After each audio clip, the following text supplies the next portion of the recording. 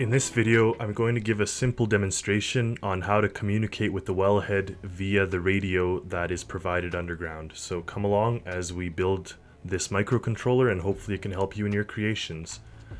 Now, what, what we're talking about is there's a wellhead here that spawns automatically with this kind of uh, land-based drill. And if you go beneath the surface, you see there's a radio antenna with a microcontroller and a battery. So what we want to do is communicate with it because if we jump on it here we see that our drill depth is 7.48 whatever and well depth is the same. We want to see whether we want to get these values via the radio so when we have a command center up here on this bait on this uh, building it'll tell us the values. So it's not working right now, but I'm just showing you what you need. So let's go to the workbench. What you need is four things.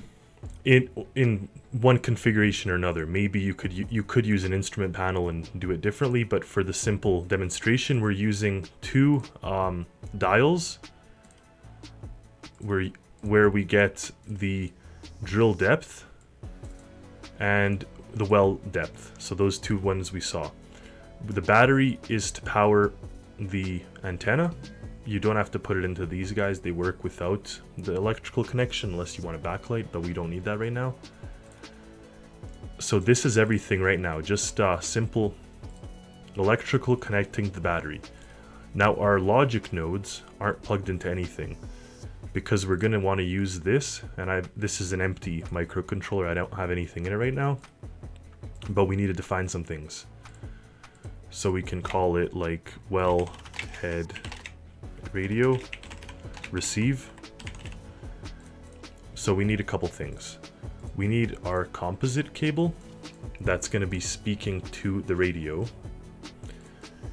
We need this this this is the radio.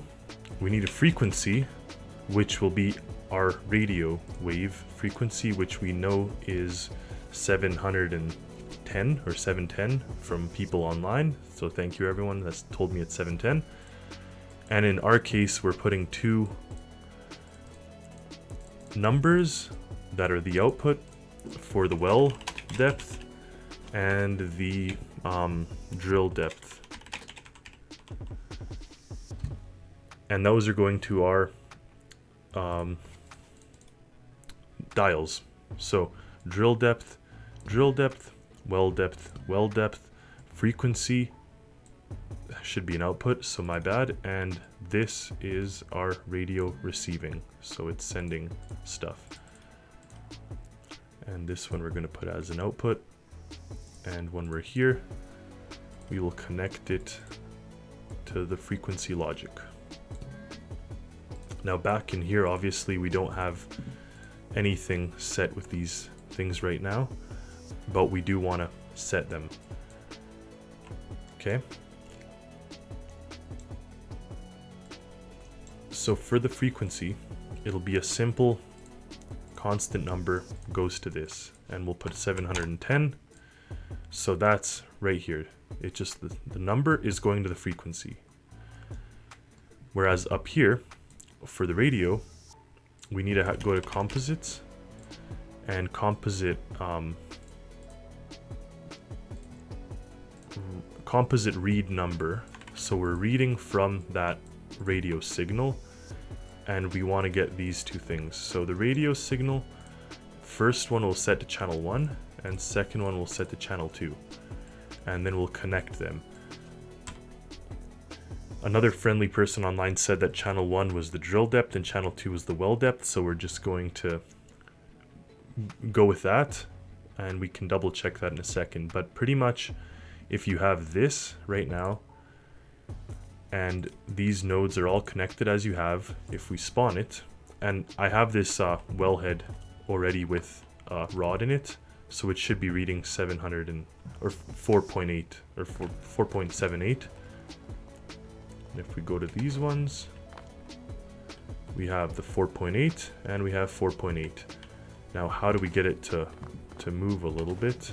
That is, well, if we seem to jump on this, we're making it change a little bit, and that should be the second value here.